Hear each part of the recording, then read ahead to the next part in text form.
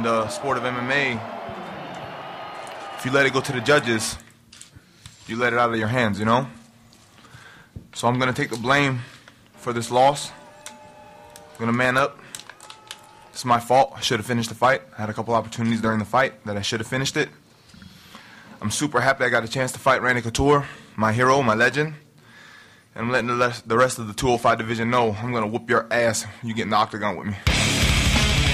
Couture's an aggressive guy who stays in your face. He, he roughs you up against the cage. You know, he steals rounds. You know, he's a professional, man. This guy's been around for a long time and knows how to fight.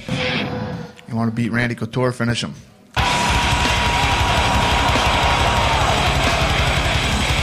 Definitely got my attention in the second round. He, I was protecting my head, and he kicked me square in the ribs uh, and got my attention. I think he uh, he moved my heart uh, with, with that shot.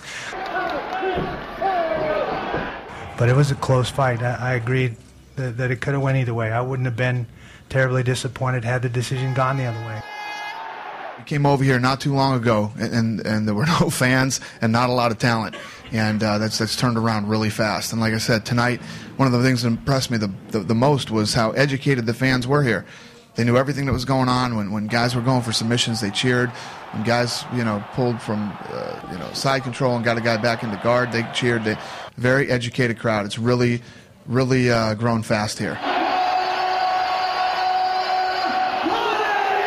It was a tough fight. It was a tough fight, but that's what I train for, you know. So it's uh, it's good to, to you know have all that hard work pay off. It's a little disappointing to get in there and hit him with one punch and they go down. So I like to have a good little war sometimes. It's, it's about learning. It's about getting better. Uh, I should have knocked him out. Um, there were a couple of opportunities I, sh- I could have done, but um, you know that's, that's, all in hindsight, and it's uh, it's a little too late now. So I've just got to look at it and learn from it and uh, get better for next time. I was planning on hitting him with a clean punch, and when he hit the ground, I was going to finish him on the ground. Um, but when I rocked him and he, I, I, could see he was hurt, I took him down, and I was hoping to finish there, but unfortunately, I didn't. I didn't manage to get enough space to land the shots. Dan was going to have his hands full tonight. I thought he was going to have a hard time tonight. He did not. He handled Swick easily. That is impressive. You know, you can sit here and I could say he should have finished it.